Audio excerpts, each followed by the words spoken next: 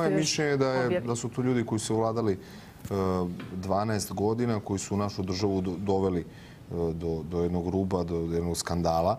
I e, sada imamo predsjednika Vučića i njegovu politiku odgovornu i Srbija ide, jel te, e, njeni građani da žive što bolje.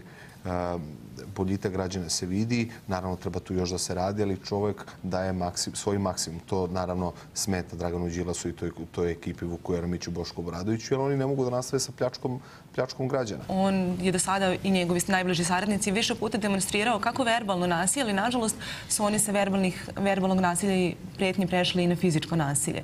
Dakle, znamo da su tukli, ja iz moje branše, prosto koleginici ispred, ispred Tako, Pinka, ispred Gocu Pinka, Zelac, to je, da. Maru Dragović. I dakle, bukvalno mogu reći od, otvaraju neku vrstu sezone lova na nepodobne novinare. Jer ako vi nekome kažete, vi niste novinari, neću da odgovorim na vaše pitanja, ko ste vi?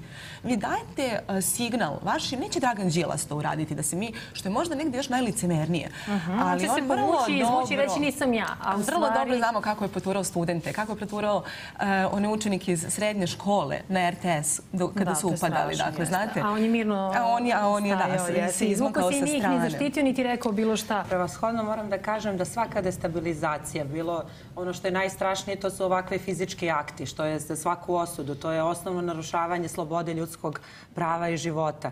A, kao privrednik moram da kažem da kad napravimo presek, ja sam neko ko je uveo inovacijonu tehnologiju, ostao u Srbiji sa željom patriotskom da nešto što novo radimo, Zašto da razvijemo. Pa upravo zato što su se stekli uslovi sa, moram da kažem, sa novom vlašću, da to opstane, da ne samo radimo u Srbiji, nego i da izvozimo.